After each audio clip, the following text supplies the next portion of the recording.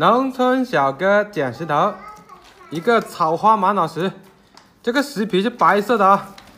这里被敲烂了一个角啊，发现里面有黄色的水草花，外表看起来没有裂，打算给它切开，看一下里面到底怎么样啊。这边有一个面积比较大，直接给它开大片，看一下能不能出手镯啊。因为草花玛瑙石。只是欣赏它里面那些花纹跟那些颜色的啊，它不适合雕刻，所以只能做些手镯或者吊坠、牌子、珠子之类的。就是说，只要是不雕刻的，做出来效果都是可以的啊。好，我们给它切一下，看一下这个里面的花式到底怎么样。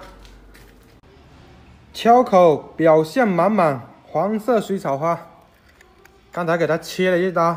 我们现在来打开看一下，来了喂！刚才一刀下去，没事的一瞬间啊，哇塞，有点尴尬。这里面非常多的小洞啊，密密麻麻的，整个石头都布满了。然后上面的水草花还是很黄啊，就是因为这个小孔啊，影响到了整个料子啊，不然的话出手镯都可以。因为它上面没有裂啊，这些看起来有点像那种灰色的地方，它是那些玛瑙质。